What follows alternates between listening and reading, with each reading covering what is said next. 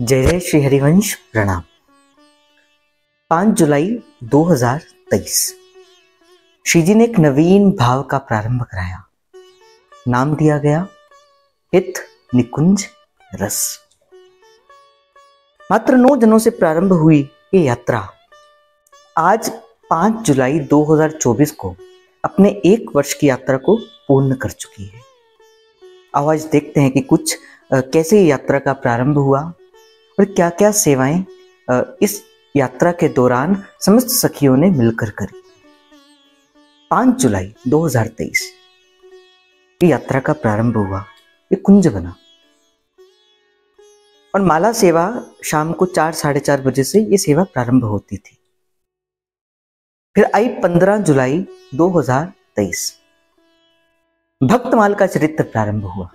और भक्तमाल के चरित्र के अंदर जो सबसे पहला चरित्र था, वो राजा नरवाहन जी का हुआ।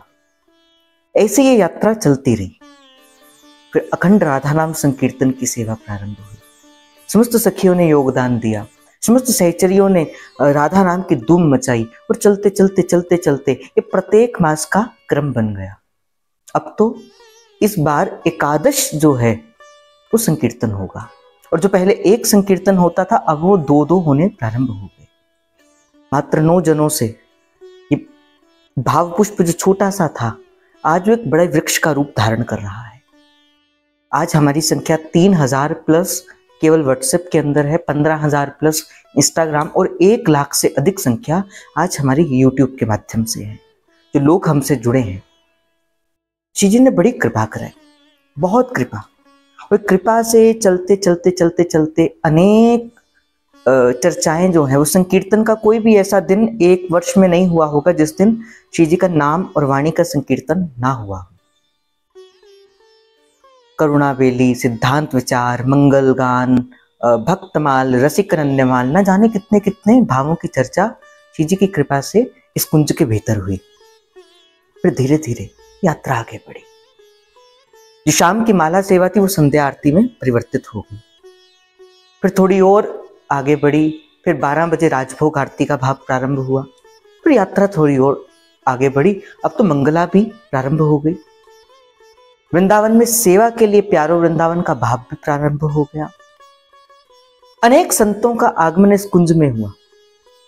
राधा वल्लभ संप्रदाय के संत, अपितु और अन्य जितने भी संत हैं क्योंकि संत सभी गुरुदेव है, व्यास ये प्रतीति ये तो हमें हरिवंश महाप्रभु ने सिखाया है।